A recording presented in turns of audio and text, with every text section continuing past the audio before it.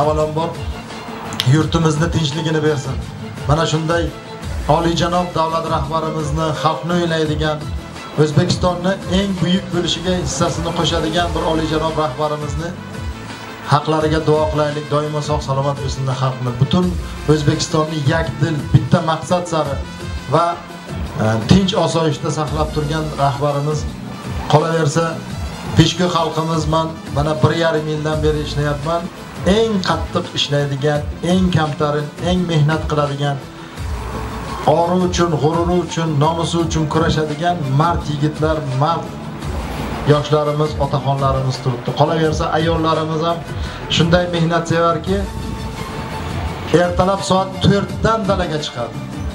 Bunaqa yurtni ayollari bunaqa ayollarimiz tuqqan farzandlar albatta peshku xudo xohlasa birinchi o'rinda bo'ladi respublikamizda. Biz albatta mana shunday ulug' kunda mana shunday ulug' ayyomda qadr kechasida mana shu bizni peshkumizga xayrxoh bo'lib bizga mana shunday yordam berayotgan barcha rahbarlarimizni haqqiga duo qilishimiz kerak.